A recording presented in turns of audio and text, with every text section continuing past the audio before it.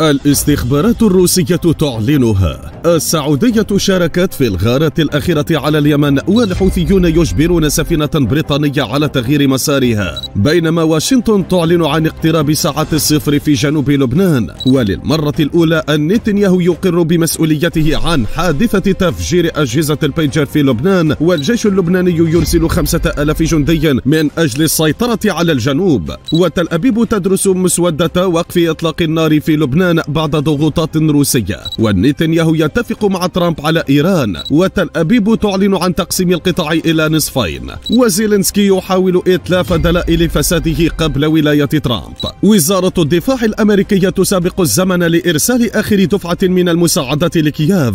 ومستشار ترامب يحدد آلية أكثر فعالية للتواصل مع بوتين غير العقوبات. وميدفيديف يسخر من حكام أوروبا بسبب ترامب. بينما حلف الناتو يواجه شبح انسحاب أمريكا من الحلف. الرهان الخاسر.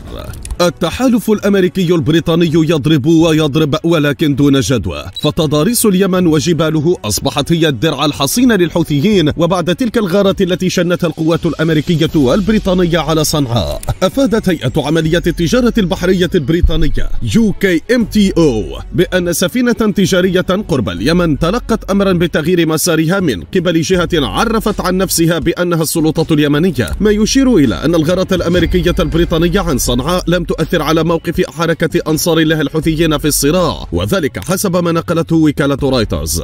فهل سيكون الحوثيون هم الكارت الرابح الذي سيغير موازين القوى في الحرب على القطاع؟ ننتظر منكم الإجابة. في السياق نفسه كشفت صور الأقمار الصناعية عن مشاركة سعودية في الهجمات الأخيرة على اليمن حيث أظهرت الصور طائرة أمريكية من طراز بوينغ بي 8 آي المتخصصة بالإستطلاع البحري وهي تعود إلى قواعد في السعودية بعد تنفيذها عمليات فوق البحر الأحمر وكانت الطائرة قد شاركت في سلسلة غارات شنتها طائرات أمريكية وبريطانية على مناطق يمنية بما فيها العاصمة صنعاء ومحافظة عمران. هذا وأثارت هذه المشاركة ردود فعل غاضبة في الأوساط اليمنية وسط دعوات للرد معتبرين ذلك خرقا لاتفاق التهدئة المستمر منذ سنوات بين السعودية واليمن وذلك حسب ما نقلته رويترز في سياق آخر وصف رئيس مجلس القيادة الرئاسي للحكومة اليمنية المقيمة في الرياض رشاد العليمي حادث تحييد الضابطين سعوديين في سيئون بحضرموت بالعمل التخريبي وأمر بالقبض على الجاني وبدء بالتحقيقات. ووفقا لبيان التحالف بقيادة السعودية فإن الاعتداء الذي أسفر عن تحييد جنديين وإصابة آخر وقع في معسكر تابع للتحالف في سيئون ونفذه أحد منتسبي وزارة الدفاع اليمنية وذلك وفق ما نشرته صحيفة الشرق الأوسط. ومن لهب الساحة اليمنية إلى الجبهة اللبنانية العبرية حيث أعلن وزير الدفاع العبري إسرائيل كاتس أن تل أبيب تعتبر أنها انهزمت الفصائل اللبنانية وأن الهدف الحالي هو تغيير الوضع الأمني في لبنان وأشار إلى أن الاستراتيجية الجديدة تركز على تحقيق استقرار أمني طويل الأمد مؤكدا أن تل أبيب ستواصل اتخاذ إجراءات وقائية لردع أي تهديد من جانب الفصائل اللبنانية وذلك حسب تصريحه. وفي المقابل أعلنت الفصائل اللبنانية أنها شنت هجوما جويا باستخدام سرب من الطائرات المسيرة استهدف تجمعا للقوات العبرية في مستوطنة أفيفيم. مؤكدة أن الهجوم أصاب الهدف بدقة وذلك وفق ما نشرته قناة الغد الإخبارية. في سياق آخر اعترفت تل أبيب بشكل ضمني بمسؤوليتها عن تفجير أجهزة النداء الآلي البيجر والتي تستخدمها الفصائل اللبنانية. ومن جهتها أشار رئيس الوزراء العبري النتنياهو إلى أن بعض المسؤولين في جهاز الأمن العبري كانوا قد أبدوا اعتراضهم على هذه العملية لكنه تحمل المسؤولية مما يعد تأكيدا غير مباشر على مسؤولية تل أبيب على الأحداث وذلك وفق ما نشرته البي بي سي. من جهة أخرى أعلن لبنان عن خطته لتعزيز وجود الجيش في الجنوب وذلك عبر إرسال خمسة ألاف جندي إضافي لدعم حوالي أربعة ألاف وخمسمائة جندي موجودين بالفعل في المنطقة وذلك بهدف مواجهة التصعيد العبري المستمر.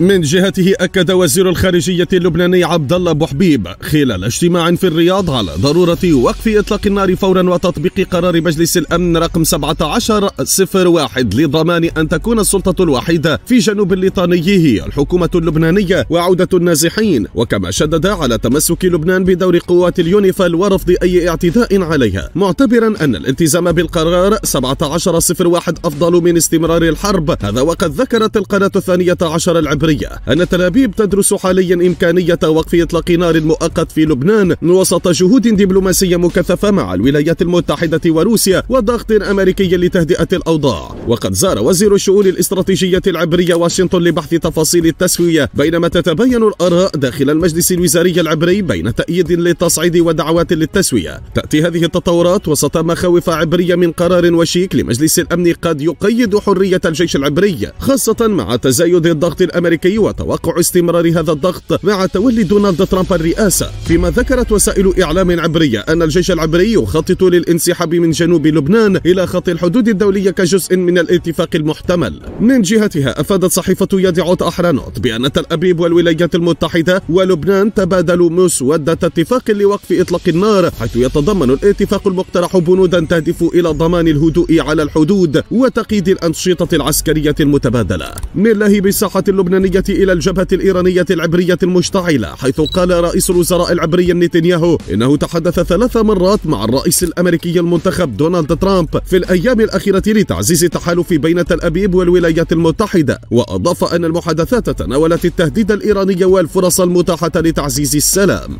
من التهديد الإيراني لتل أبيب تأخذنا التطورات إلى آخر المستجدات على الساحة الفلسطينية حيث ذكرت صحيفة يدعو أحرانوت أن الجيش العبري والسعى ممر نتساريم وسط القطاع ما يعزز من وجوده العسكري هناك ويفصل شمال القطاع عن جنوبه يتحكم في حركة المرور بينهما وقد وسع الجيش العبري منطقة سيطرته إلى 56 كيلومترا مربعا مع زيادة الحماية وإنشاء بنية تحتية عسكرية تشمل أبراج مراقبة وخطوط مياه واتصالات. هذا وتأتي هذه الخطوة في ظل تعثر محادثات التهدئة وصفقة تبادل المحتجزين مع الحركة الفلسطينية حيث يهدف الجيش العبري إلى منع عودة مقاتلي الفصائل من الجنوب إلى الشمال لتأمين المناطق القريبة من المستوطنات وذلك نقلا عن رويترز. لنترك الأوضاع في الشرق الأوسط ولننتقل إلى كواليس حرب روسيا ضد أوكرانيا والغرب.